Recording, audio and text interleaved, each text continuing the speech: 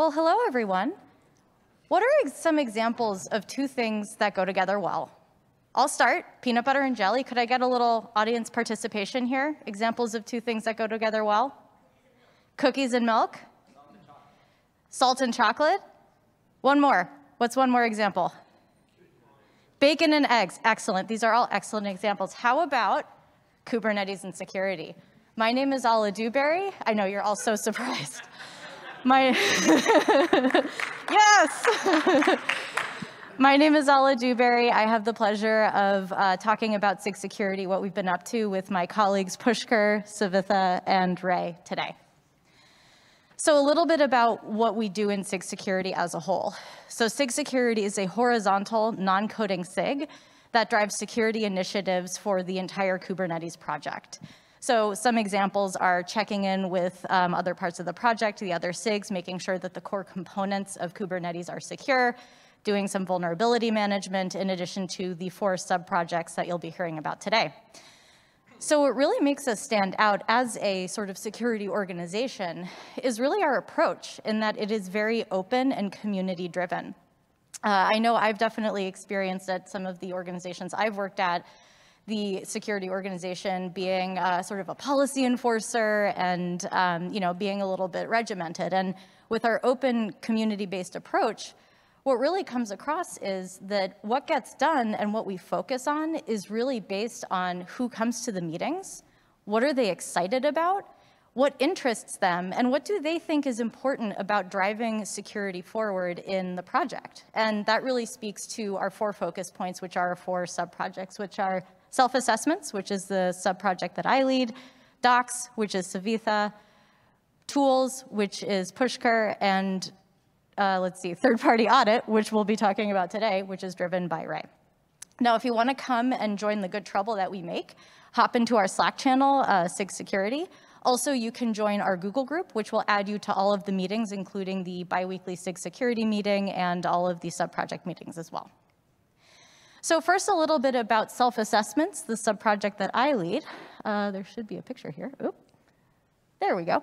So this is the lightweight threat modeling subproject in Kubernetes. So our output is uh, lightweight threat models, totally shocking, I know.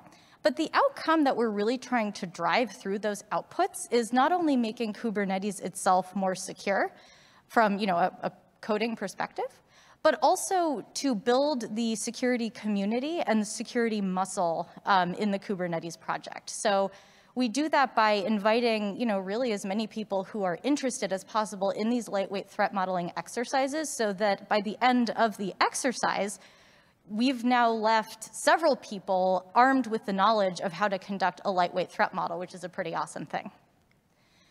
So what have we been up to? Well, currently we are focusing on the uh, threat model for the vSphere CSI driver. I do happen to work at VMware, that's a coincidence. So uh, today uh, we have completed all of our data flow diagramming. So we've got all of our sequence diagrams and component diagrams in order. And now we're actually poised to begin the stride model or the threat modeling part of the process. So um, that is where we are at today.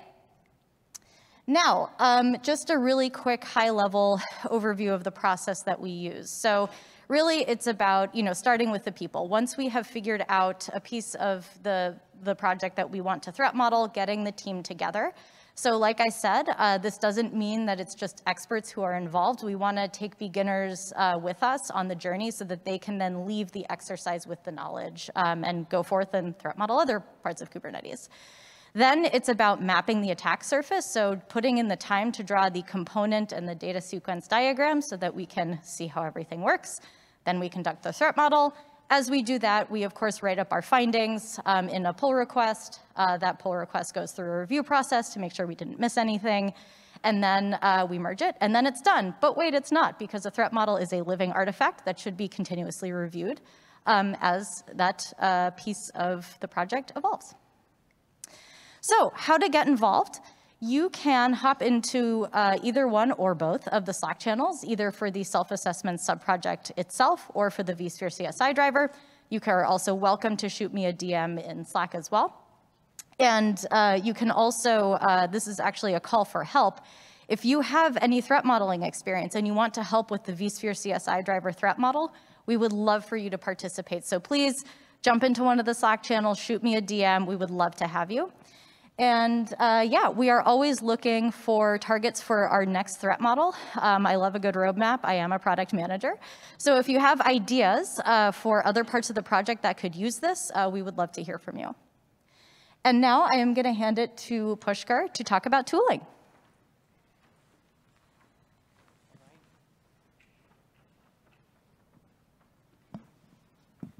All right, can everyone hear me? So thank you, Ala. Uh, we are a sub-project called Tooling, where we make Kubernetes more secure by writing code. Uh, there are two tracks that we currently work on. One is scanning for vulnerabilities in Kubernetes. So today we, we have been scanning Kubernetes Kubernetes for Go module vulnerabilities and all the release images for almost two plus years.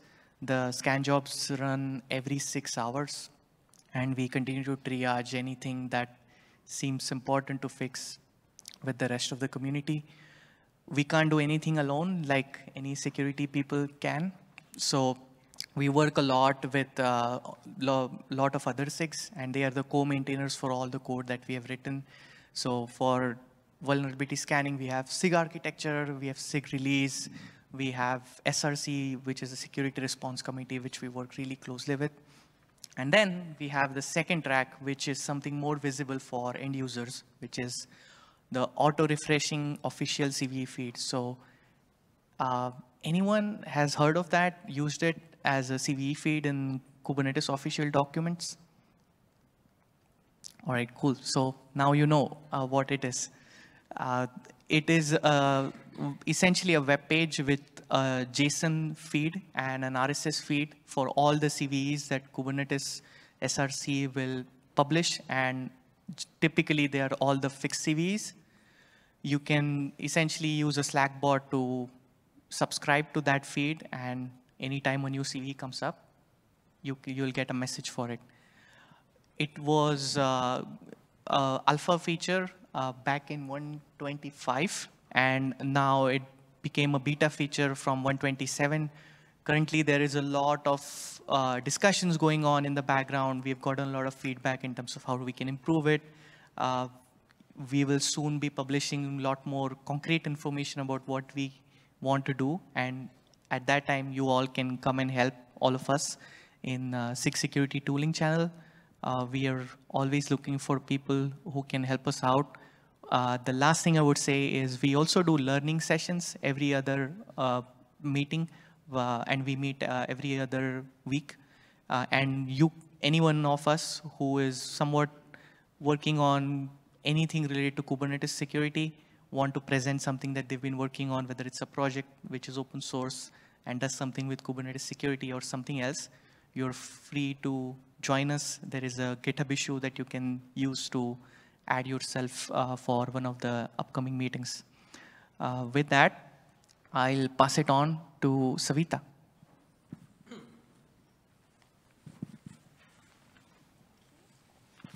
Thank you, Pushkar. My name is Savitha Raghunathan, and I am the lead for the SIG Security Documentation Subproject.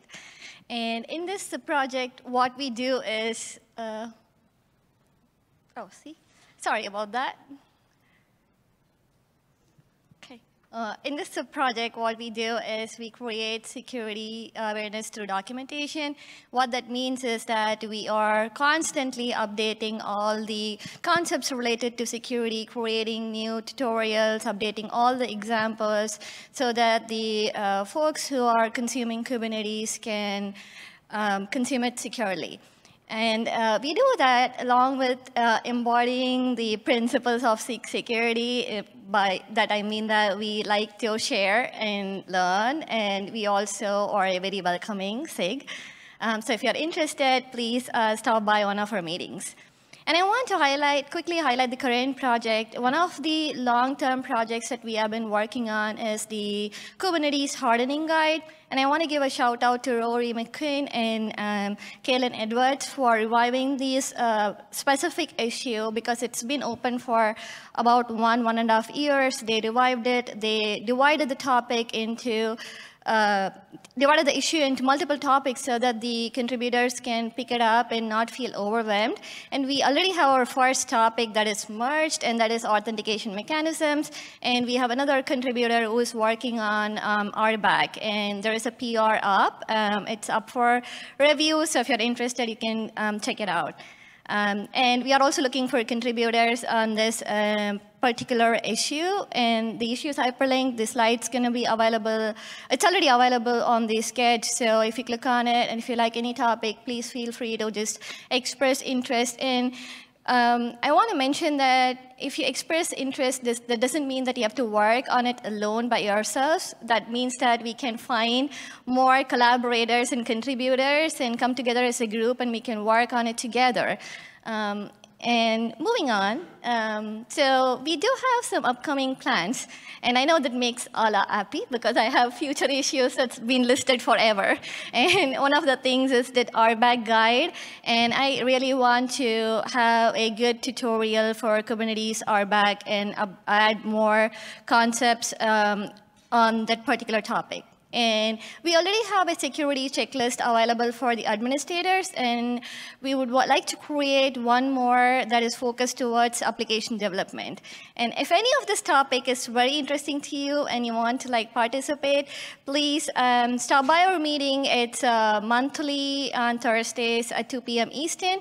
And we are also a sub-project that uh, collaborates asynchronously. So stop by the Slack channel. Um, start a thread if you're interested in any topic. And if you really uh, want to improve anything on Kubernetes security on the website, feel free to create an issue, give a shout out in the channel, and someone will actually uh, partner with you and help you champion that effort. Um, that's it for me. So next up, I present to you Rey Lejano, uh, who's going to present uh, about the audit. Hello, folks. My name is Rey Lejano. Uh, professionally, I work with SUSE, but I like to contribute to Kubernetes. Uh, so I lead the external audit sub-project. A little bit of history, it actually started as a working group, uh, which actually published the first audit. We'll talk about that in a little bit. Uh, like uh, the other sub-projects and SIG security in general, our goal is to make Kubernetes more secure. But with the external sub-projects, we do that by coordinating uh, regular security audits. Uh, and some of the tasks we do, we help define the scope. We don't, we like the community to help as well. We want community input to help define the scope. Uh, we release the RFP. Publishing the, the RFP is also community driven as well, so we're open uh, to, to, for reviews. Uh, we also then we review vendor submissions and we coordinate with the CNCF, the Linux Foundation, and the Kubernetes Security uh, Release Committee as well. Uh, so that's us in general. Uh, a little bit of history. Uh, the, uh, the 2019 security audit, um, sorry, was the first security audit, and that was uh, published in 2019. That was done by a joint effort by Trail of Bits and Atredis. Uh, that was based on Kubernetes 1.13.4, and we're on 1.28, so Kubernetes moves fast. Uh, last year, uh, with efforts, with help with a number of SIG security contributors, we actually released a blog post that was a bit of a retrospective, like what happened since that 2019 security audit, where we're at, what have we done, and what do we need to do. It turns out we actually need to do uh, several, some, some stuff still, out of that 2019 security audit, there was 37 uh, findings that were uh, found. Issues were created. Uh, 21 are fixed and five are deemed uh, that needs a Kubernetes enhancement proposal. That means that it's more than just a, a bug fix or a patch, that there's actually a, a change to the, and changes uh, to the features of Kubernetes. So this also identifies that we also need help. If you are interested in, in contributing to Kubernetes and to uh, SIG security, uh, we have lots of issues that needs help solving. So out of the 2019 uh, security audit, we have 21 that still needs to be fixed. As of April 19th of this, of this year, we published the latest security audit based on 1.24. And the event that, and that was conducted by NCC Group. Um, out of that security audit, uh, it was based on 1.24. The scope was the main components of Kubernetes, the API server, the scheduler, uh, various control uh, controllers, uh, the use of etcd, the kubelets, also uh, secret store CSI driver. Uh, there are many components of Kubernetes, so we are there is a gap, and I'll address this later on as well. That we want to audit uh, more components of Kubernetes as well. Um, sorry, I think my images are not showing up for some reason. Okay. So uh, we have an umbrella issue open uh, uh for those 19 findings for that was uh, released in this past April. Uh, link is on the is on the deck as well. so there's 19 findings. I'll go over some of the some of the more key ones in, in, in a little bit here. So just a high level breakdown of the audit. you know, there's I do want to focus that there's no critical and there's no high uh, findings that were found. Uh, so we're going to focus on the medium findings for the first parts of this talk. If, depending on time, we'll go into uh, to more of the findings here. Uh, based on the category, that is access control, um, authentication, uh, identifying users, configuration, security configuration, cryptography, data validation. Um, and also the findings that were discovered out of the components that were part of the scope, only uh, findings were found in Kube API server, which is also a big component of Kubernetes, uh, and two in kubelets, and four are from the architecture review. So like I said before, that we're going to focus on the six issues first. Out of those, uh, four is from the four is from the Kube API server, one's with kubelet, one's uh, from the architecture review. So the first one is additive access control. This is one we all know. It's actually stated in the Kubernetes documentation that authorization in Kubernetes is mostly handled by RBAC. I guess there's some folks that use ABAC. Uh, and permissions are purely additive, and there are no deny rules. We state this in the documentation. There's no deny rule. So this was also this this was cited as well, and the and the recommendation is to enhance RBAC to support uh, explicit deny rules. Uh, next finding is that um, under very specific conditions, and I have the conditions listed, listed here, uh, a, an authenticated user can have their privileges escalated to cluster admin. And so those conditions are when the client CA file equals to the request header client CA file, and request header allowed names is uh, is not used is to specify the the certificate the certificate common name uh, that's permitted for that request uh, header off. Uh, so the recommendation is to, uh, to, to reject any conditions when that specific condition is actually, is actually valid. So this is titled uh, Common Certificate Authority, possible for client C and request header CA. So this is with the, the Kube API server. Uh, the third medium uh, finding was is actually fixed, fixed, and this is about path traversal and namespace, uh, namespace specifier. So a user, when they, uh, when they do a request, they could actually use uh, directory traversal sequence dot dot as a namespace in their request to the, the Kubernetes API. Uh, so you could find the full path of objects uh, that they should not be accessed, uh, they should not have access to. And so the recommendation which was taken was to add a check on the namespace identifier in API request. Oops. Uh, next one is the redirection of API server traffic to kubelets. Uh, so there's a feature in uh, the Kubernetes API servers that has a proxy feature, and we're going to have two findings about this proxy feature. Uh, so uh, the first one is that when a user can actually get cluster admin uh, permissions if they have specific um, permissions or already if they have get on node proxy or they can either patch or on node status and also or also create on node permissions. Um, so they can manipulate the API server uh, to authenticate uh, itself as the API as the API server. Uh, so the, this cube, the Kubernetes API server proxy is a feature in case the user does not have any network access to the workload or to the node. So you could actually proxy your request to the workload or to the node. Because of that, there are some findings uh, that, come, that came about with this, uh, the Kubernetes API server proxy feature. So the recommendation here is to implement additional defense measures to prevent uh, the proxy request uh, being sent to the API server swap port. So. Next one is API server proxy disables to TLS cert validation. This again is with the Kubernetes API with the proxy feature as well.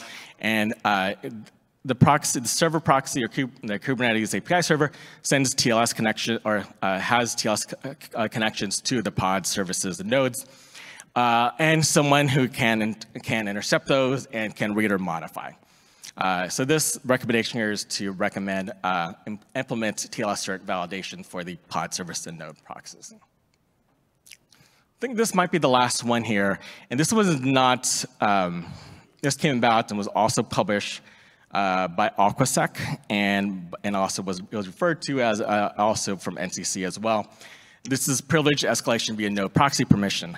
Uh, so I have the link for the blog from Aquasec as well. So a user uh, with certain permissions, this time it's get and create permissions on node proxy in the cluster uh, as and has full permission on the kubelet API. Um, and also, and uh, this, so when this proxy request is made to the kubelet or a node, the API server's own client cert is actually used to authenticate, uh, not the user. So you do get full access. With I do want to make a note. Those are the six findings. Uh, there's more, and I'll, I'll, reference those in a little bit. But I do want to make a note as well that we do have an audit roadmap since we know Kubernetes is very big. And we have the main components, but there are more than just the more, more than the main components. This is just a screenshot, a small bit of the what was proposed as the audit roadmap. Uh, so things like uh, even worker nodes on running on Windows, um, cluster API, uh, gateway API. There's so many more uh, components of Kubernetes that, that should be audited. Uh, with that, this subproject's goal is to conduct regular audits as well.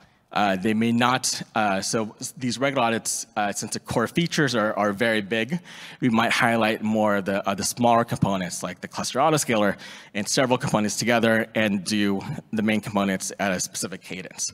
Uh, this roadmap is on GitHub and is open for any pull requests as well.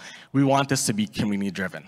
Uh, not just the SIG, but everyone needs to think about security.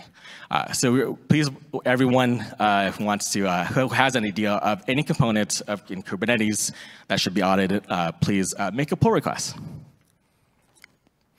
And we have an issue already opened, just open this, for the next audit. So this is just a tracking issue. so this is what we've done in the last audit and a little bit more as well. Uh, so this is just to track an, an, umbrella issue, just to track the activities that's required for the next security audit to take place. I do want to make a note. Um, you might be thinking that the first audit was 2019 and this last one was published in 2023.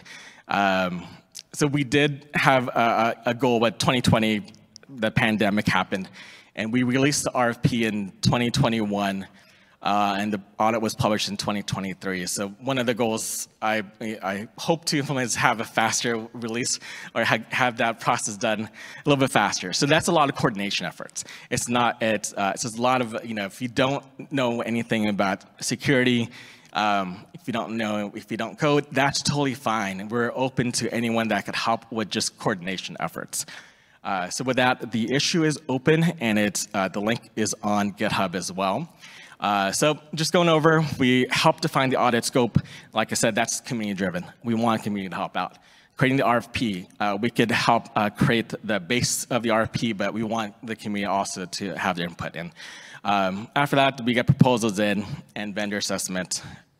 Then we go through the actual audit and uh, finding subject matter experts. Like I said, like I said, you don't have to know Kubernetes uh, very intimately. We, we all we had need to find is the subject matter expert behind those certain uh, behind those certain components that could be that could talk to the vendor for the audits.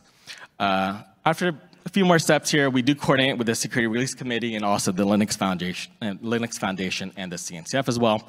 Then we publish the findings. And we start over again. So this is an ongoing cycle. Even if you don't have time for now, you can always help out in the future and also help jump and jump in whenever you want to. So a little bit more as well. I'm just to go over to some of the more findings that we didn't highlight in the um, medium findings, some of the low ones. There's there's also uh, uh, on the umbrella on the umbrella issue as well. Uh, there's status of a fix or one fix. So Uh, this, the other one that we, another one to, that is a finding is the multiple concerns with network policy. This was deemed as won't fix because this was as a result of uh, communication with contributors. This is because you need to implement a, a, a CNI plugin to implement the Kubernetes network model. And some CNI plugins don't enforce network policies. So this is not exactly, um, so the, the recommendation is if you want to use network policies, of course, use a CNI uh, that uses network policies. Uh, next was the lack of cohesion between core access control mechanisms. Uh, that's because we, uh, in Kubernetes, we have RBAC to authorize and authenticate users, and we have admission control uh, for resources. Uh, so there's needs, there's not exactly, they don't really, they, yes, they do and they don't, but there's lack of, of cohesion between them. Uh, next one is the weaknesses and pod security standards in restrictor profile. And uh, the restricted profile of pod security standards does not enforce group ID to be zero. All right, uh, so the next one in terms of the Kube API server, uh, just going over the low ones. As you can see, there's several that are, actually next slide we'll see that there are several low, uh, low risk issues that were fixed uh, as well is just going over some of these, the authentication source not shown in the audit logs. So you kind of manipulate uh, some things that it might be a security concern since it's rated as low. Uh, I do like the emptyDir volumes do not support mount options.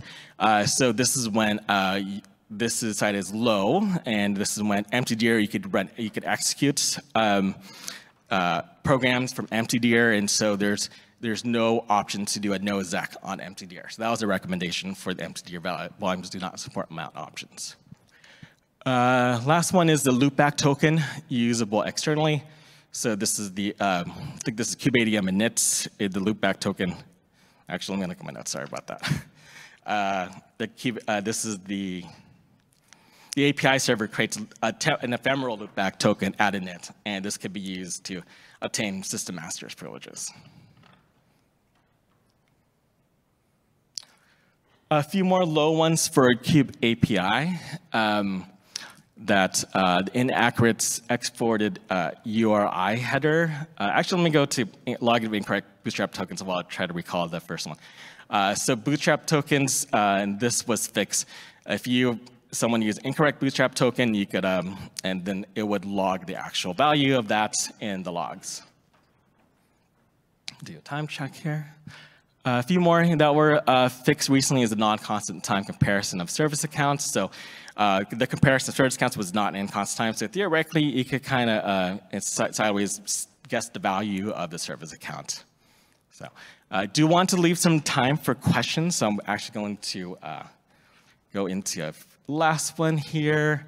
Uh, the, pri the privilege escalation via nodes proxy permission that was was already reviewed in, as a medium fix, and we do need uh, help to fix that. So if you are interested in contributing to SIG security in a very impactful way, uh, that is one way to, uh, to help out. So I want to uh, save some room here, about six minutes for any questions.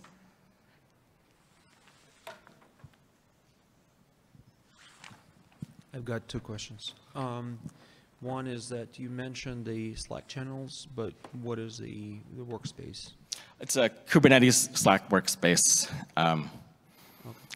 Yeah, and, and then there's a, the ha hashtag SIG security, SIG dash security, and our the sub projects have uh, their own uh, Slack channels, uh, SIG dash security dash external audits, uh, SIG dash security dash uh, cl cluster, we like uh, tooling, SIG, you know, the security docs as well. Is Kubernetes, right?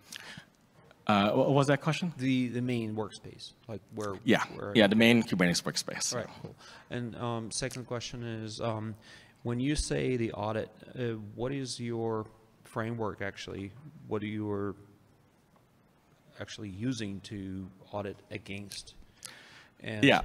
To to to be honest, I'm I'm, com I'm coming from security background, so my thinking is that what you're presenting is more of a like a uh, uh, code scan mm-hmm. rather than the full audit because there's more components to the audit than just the code yeah. you need to have, including multiple controls, including like, you know, how you you know, what the access is, you know, how you maintain the code, where, you know, who has access to it, who can commit to it, and and so forth. So that is kind of like, you know, if you can uh, address that. Yeah, I do agree that most of the. Thanks. uh. I do agree that uh, this audit was a lot of, of, of code scanning um, uh, that they did. We uh, also the CNCF audit did fuzzing as well from another vendor uh, that that the, is difficult to do an audit that's very comprehensive with a large size of a project, a project, and this is something that you know we're trying to address as well. So I, I do agree that we need to uh, expand the framework of, of the audit. So.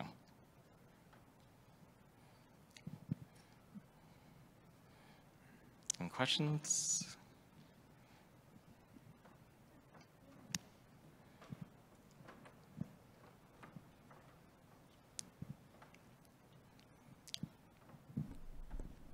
Hi, I'm short. If, if people wanted to get involved in SIG security, is there any kind of like skill requirement or experience requirement to get involved? Like who can get involved in SIG security and how? That's an excellent question. Um, anyone, anyone who is enthusiastic about Kubernetes and security is welcome to join SIG Security. Um, there is no specific skill set required. There's no specific knowledge required. Um, all that is required to participate in SIG Security is that you are, you know, somehow involved in Kubernetes or you want to be, and that you're interested in security. And we will embrace you and uh, help you connect to what uh, interests you to work on to make an impact um, in Kubernetes in respect of security. So yeah, come come on in, join join us. The the water is warm. Any more questions? Oh, go ahead.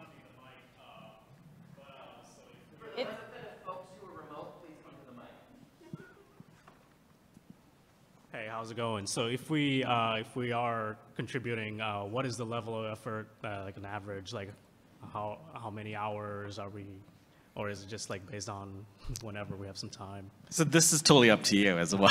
I mean, like, if you want to contribute, if you want to contribute uh, five minutes, ten minutes a week, you know, to maybe do uh, security docs reviews, that's totally welcome. Or if you want to drive a, a KEP forward that fixes one of the findings, that might take more time uh, in, in a week. That, then you're welcome for, to that too. So any amount of time is welcome. And do you guys have like weekly or bi-weekly? Yeah, we do uh, have bi-weekly meetings? meetings on Thursdays. Um, and you could even just join the meetings. If you wanted to join the meetings, that's a great way to be part of SIG security. Okay. How can we go about getting invited to that? So there is, uh, in the GitHub, there's uh, the Kubernetes repo, there's community slash, in, in, the, in the community repo, there's all the SIGs. And you just click on SIG security and we have uh, our, the, uh, the link to the Zoom when the Zoom is, is at, uh, or the Zoom link and also link to the agenda as well. Okay, thank you. Uh, We will probably edit the slides and upload it, Yeah. and with that information, so if you go in about like, now, by the end of the day, Yeah. uh, just to give us some room, uh, we will have all the information there. I think Thank that, that just to editorialize on that a tiny bit, one thing I think uh, that you've really been amazing at in Docs is breaking down the tasks um, and like the increments of work that people can do to take on to rapidly um, contribute. You know, it's not, it's like, oh, we literally do have five to 10 minute tasks that you can take on and make an impact in SIG security. So um, that's definitely something that I take inspiration from um, as you. well. So Thank uh, Savitha and uh, what is it, Ian and Kaylin, um, or Uh, Rory, Rory, rather, yeah. have been really great at. So that's that's part of what we try to do to make security welcoming and digestible for people is to say, hey, like you, here, here's a five minute thing that you can go and do and, and make an impact. And you can triage issues, that's another thing. Or you can just come to the meeting and take notes. We appreciate people who take notes, and we really need note takers. Um, it's hard to run the meetings and take notes as well. I struggle a lot. I cannot type and talk. I make typos. I'm very cautious about it. So one of the help, uh, the ways to contribute is to show up the meeting um, and to like take notes that help us or create a Slack thread stuff like that. Like we have many uh, ways to contribute. You don't have to know security, and the, this is like if if you know, it's amazing. And we also encourage that if you are please come to our SIG with the mentality of learning and sharing. We really need that, and we really encourage that. So I think we're just about literally to, okay, so we are now I- officially out of time, but I do just quickly want to shout out our amazing chairs who are sitting right here, Ian and Tabitha. Um, They have done such an amazing job in creating security community and having us sub-project leads um, connect to what makes us Plus excited. that. So thank you.